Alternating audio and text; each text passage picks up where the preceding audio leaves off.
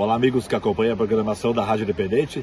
Estamos aqui em Vespasiano Correia, aqui próximo ao Viaduto 13, um dos locais mais atingidos na enchente de maio e que até agora sofre as consequências, né? Um local turístico que atraía cerca de 2.500 pessoas a cada final de semana, agora se vê até isolado aqui em função é, da enchente, da enxurrada aqui também do rio Guaporé e dos arroios aqui que cortam a localidade.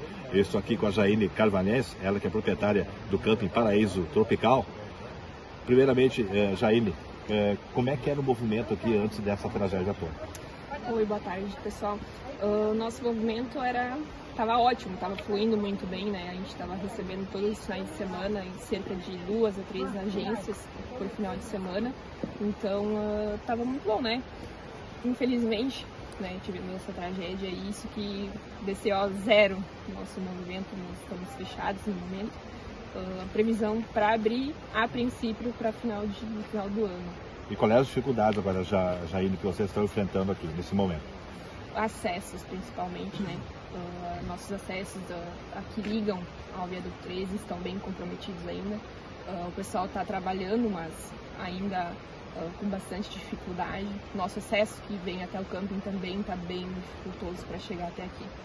E os demais empreendimentos, né? Tem vários empreendimentos também aqui, uh, aqui próximo ao V13. Como é que também está a situação geral aqui do, dos teus vizinhos também, que são empreendedores? Uh, mais ou menos está nessa, nessa mesma situação que a gente, né? Uh, o nosso primeiro vizinho da, da entrada abriu no final de semana já para alguns turistas, mas poucos que vêm circular, mas também para ver como é que está Então acaba tá começando a circular, mas uh, não é ainda o fluxo que nós tínhamos. Né? Nesse momento, então, o que, que vocês mais precisam aqui, né? Até para que se possa ser adiantado é, essa é, ser adiantada essa, essas mudanças aqui, então, para que os, o campo volte a funcionar e tenha acesso até aqui. Eu acho que as estradas, né?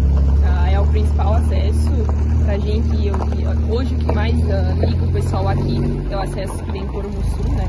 Que é o é o principal acesso para ônibus, principalmente, que é o nosso forte com agências, né? Então, acredito que principalmente é acesso. Nós tendo acesso, eu acredito que o pessoal vá voltar a visitar, né? Porque é um ponto uh, turístico que, graças a Deus, ele se mantém. Não é só a ferrovia também, né? É, não é só a ferrovia, tem o entorno também, que é muito bonito, cascatas, enfim, cachoeiras, outros, outros pontos também que o município conta, né? Então, acredito que a gente tendo um acesso já, eu acho que vai começar a voltar as coisas ao normal. Ok, obrigado. E assim está a situação aqui próximo ao viaduto 13. Um dos pontos turísticos mais incríveis do interior do estado, o segundo maior viaduto da América Latina, está agora nessa situação. Empreendedores e comunidades estão se reunindo para, junto com a concessionária da ferrovia, tentar dar o rumo para isso aqui, como a volta do trem dos vales. O futuro é incerto por enquanto aqui nas mediações do viaduto 13 entre Vespasiano Correia e Mussum. Para a Rádio Independente, repórter Alício de Assunção.